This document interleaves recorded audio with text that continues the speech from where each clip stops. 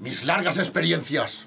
En la guerra del Vietnam cogíamos a los cuerpos, les quitábamos todos los órganos y creamos un soldado, un soldado de muerte. Estaba ensangrentado, tenía supuración, su mujer lo vio. ¡Era Never